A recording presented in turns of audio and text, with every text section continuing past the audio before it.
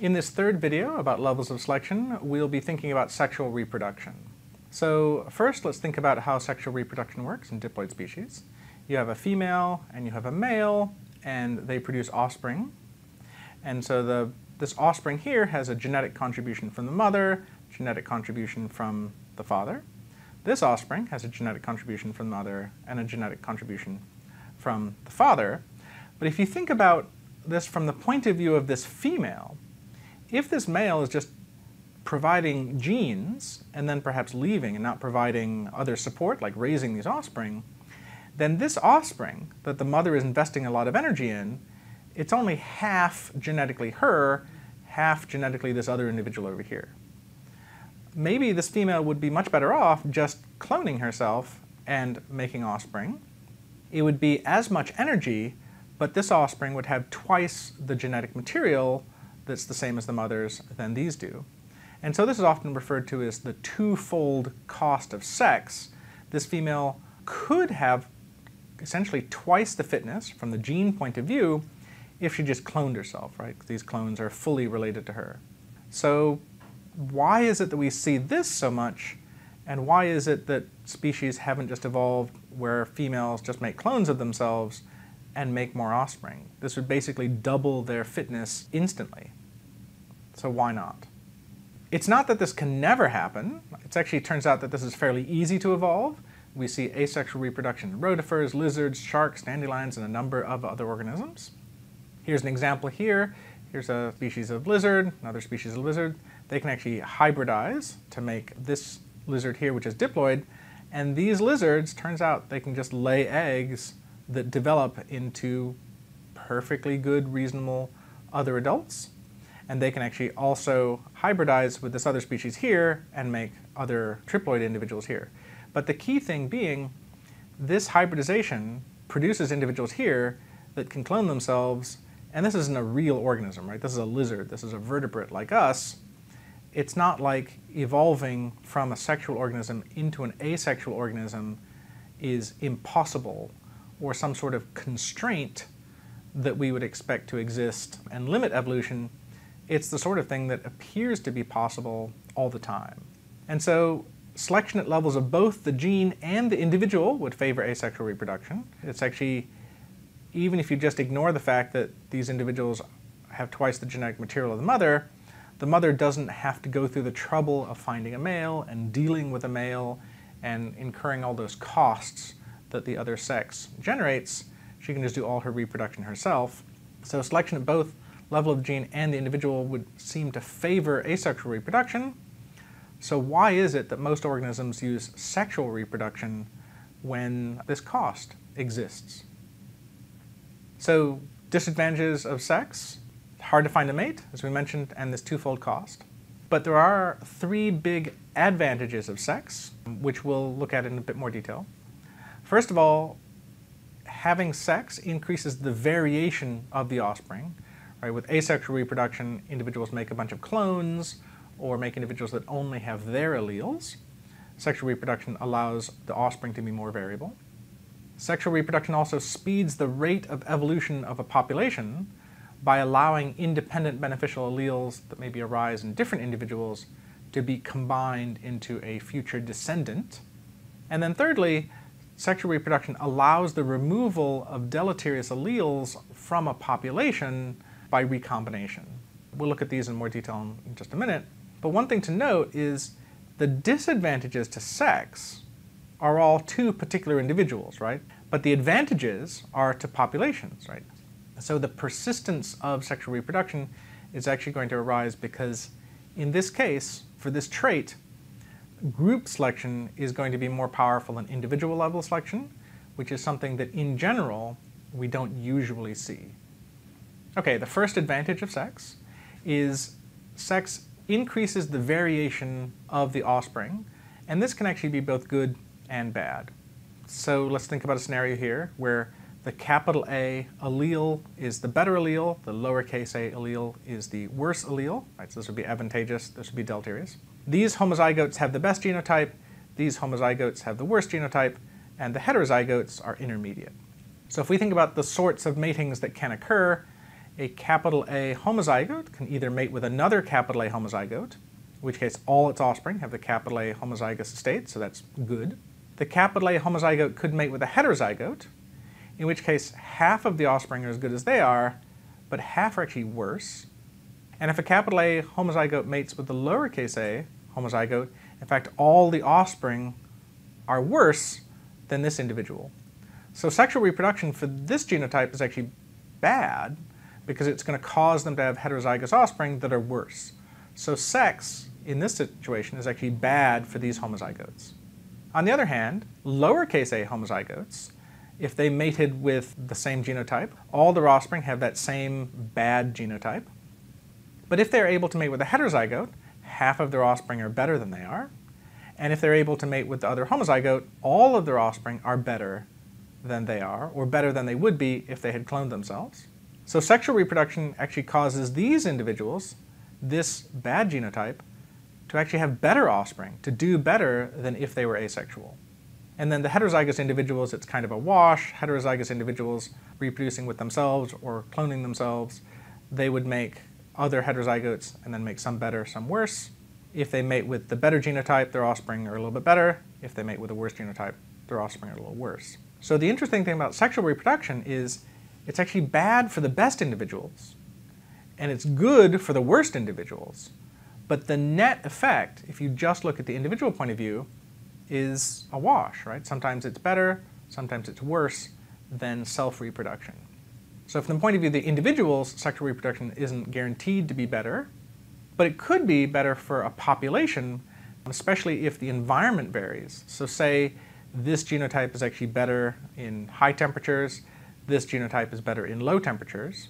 Well, when it's warm, this is the best genotype. When it's cold, this is the best genotype.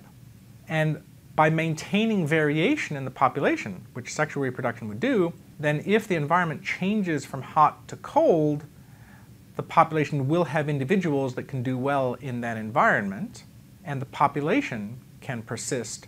Whereas if it didn't have sexual reproduction and everybody was this genotype, when the environment changed from hot to cold, maybe the population would go extinct because they wouldn't have any of the genotypes that, although they're bad in the hot environment, would be good if the environment changed to be cold. So sexual reproduction can be very important for the long-term survival of populations because it maintains variation, but it doesn't really provide a consistent benefit to individuals within those populations. Second advantage of sex is that sex speeds the rate of evolution of a population, allowing independent beneficial alleles to combine. So we have two diagrams here. This axis is kind of representing proportion of the population that has a number of different genotypes. And here, the top one, we're thinking about an asexual population. So everybody has some sort of default genotype here. The capital A, capital B, and capital C alleles will be novel beneficial alleles. So the population is kind of moving along, and then there's a mutant here that has the capital A allele, and they're doing better, right? So the frequency of individuals with the capital A allele will increase over time. At this point, now there's a mutation that creates capital C individuals, and they start to increase in frequency because they're better than whatever was here before. And then a little later, the B mutation also occurs, and those individuals increase. But at this point, although the population has all three alleles, they're now competing with each other, right? Because reproduction is asexual. And only one of those alleles can be the one that wins. And as this allele A wins and increases in frequency, it's actually going to push the other good alleles out of the population. And now the population is better, right? Because everybody has the capital A allele. And then in a capital A individual, the capital B mutation could occur again, perhaps, creating these double beneficial mutants here the capital C mutation could occur, creating these double beneficial mutants here. And again, now they're in competition with each other. Both the B and the C alleles increasing in frequency, but they're competing. Only one can win. This one would win. And then later on, those individuals can get that third beneficial mutation again, until finally you get a state here where the population has all three beneficial mutations. So it takes a while, and it has to basically happen in three waves for a population to go from the initial state to the state with three beneficial alleles. On the other hand, if you have sexual reproduction, then these mutations that are starting here and occurring here at the same time that they were here, okay, that first capital A allele occurs, those individuals are doing better, they're increasing in frequency, This capital C allele arises, and these individuals are doing better, they're increasing in frequency. Capital B allele arises, those individuals are doing better, increasing in frequency. And now with sexual reproduction, this individual can actually mate with this individual and produce individuals with both mutations as a result of sexual reproduction. And the same thing here. And now you've got a population with individuals with two mutations that are beneficial. These individuals have two mutations that are beneficial, and they can actually mate with each other, and you can actually produce these individuals immediately that have all three beneficial mutations from the very first instance of their arising. And then this genotype is better than all the other ones, it increases in frequency and takes over. And so you can see that population achieve this state of three beneficial alleles much more quickly when mating and recombination to combine these alleles into the same individual can occur. That happens much faster than when it can't occur. So again, this population is actually doing better than this population because of this sexual reproduction. But it's not necessarily true that any individual is doing better. So for example, here, in fact, these individuals are getting extinguished from the population more quickly because of sexual reproduction.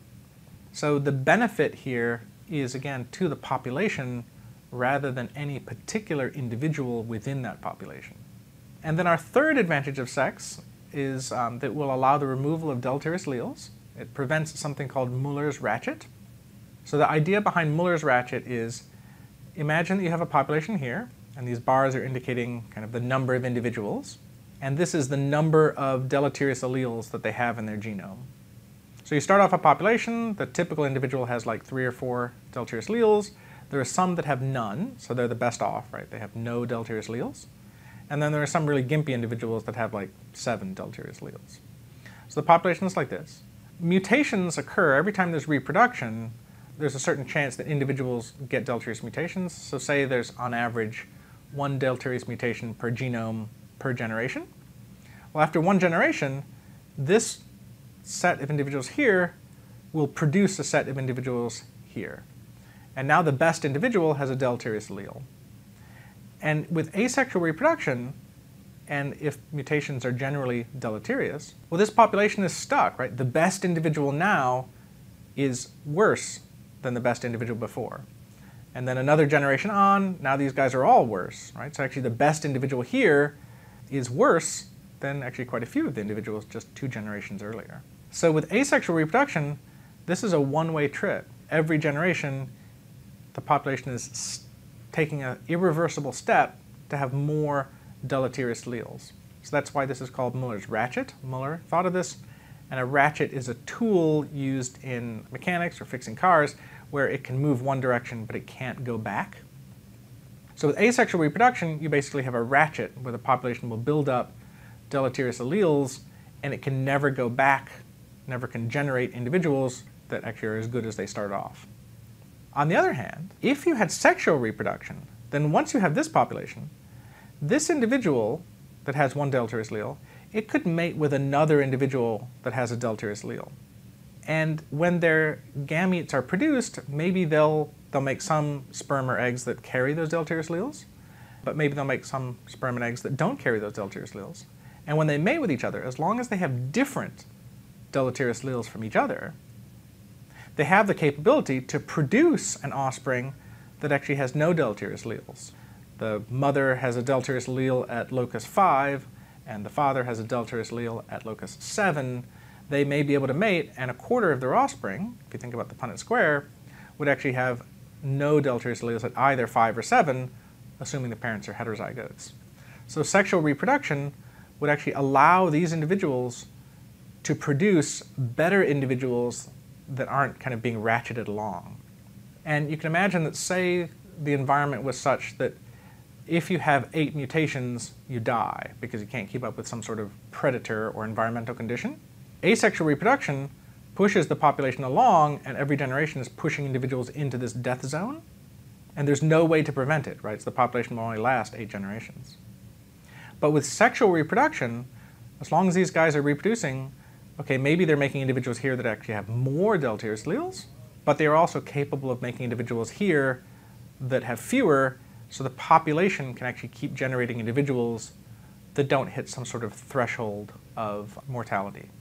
So sexual reproduction, again, it's not necessarily good for any individual, because when these individuals mate, they could actually produce offspring that right off the bat have two deleterious alleles plus the one for mutation. But they have the capability of making these, and it's going to be equal numbers of each. So for an individual doing reproduction, sexual reproduction is just as likely to make a worse offspring as a better offspring. But the population as a whole is capable of making individuals that are better than previous generations. So these three arguments for the advantages of sexual reproduction, they actually all show that sex is good for the group, but is not actually consistently good for any of the individuals within that group. So the persistence of sex would appear to be due to group selection instead of individual level selection. Support for this group level selection comes from the fact that when we look at asexual species, they're generally very young. They haven't been around for very long, so those groups haven't actually lasted very long because perhaps group level selection has eliminated groups that have been around longer. The only ones we see are recent ones. The only exception to this is rotifers, and they have very large populations, which can act as an insulation against processes like this, as we'll see in the next part of the course. And this is actually essentially the only widely accepted case in which group level selection really beats out individual level selection. And so it turns out that when we're thinking about adaptations, adaptations are almost always explainable by gene or individual level selection, and we know those processes exist, and we have lots of cases of those. And so when we're thinking about adaptations, the concept of parsimony, this idea of cheapness or Occam's razor, right, not using extra things to come up with explanations, but using the minimum amount of explanation. The principle of parsimony removes our need to talk about group selection, especially since we know group selection is almost always not as good as individual level selection, sexual reproduction being the only real counterexample that's widely accepted. Because we know that gene level selection and individual selection are effective, and group selection typically isn't, when we think about adaptations, the best way to think about why things have evolved is to think about it strictly in terms of how it would be good for genes that provide those traits, or how it would be good for individuals that have those traits. And it is, in fact, a bad idea to think about how something has evolved because it would be good for the group that has that trait. When we think about these different levels at which selection may occur, selection at the level of the gene and selection at the level of the individual are the levels at which selection mainly acts, and almost all adaptation can be understood best by focusing on these levels. Selection at the level of the group is really only useful for thinking about the evolution of sex, although we did see in the T locus there was some influence of group level selection, but in general, evolution of sex is the only really good, unambiguous example of group level selection being vital. And then we can even move up into other groups like species. And you do see some people talk about how there are speciose clades, like some groups of species do better, like insects seem to do better than myriapods, mollusks seem to do better than onychophorans. But the further up you go, the more kind of speculative things are getting, and the less support there is for selection acting at these levels or these levels versus these levels for which we have lots of support and evidence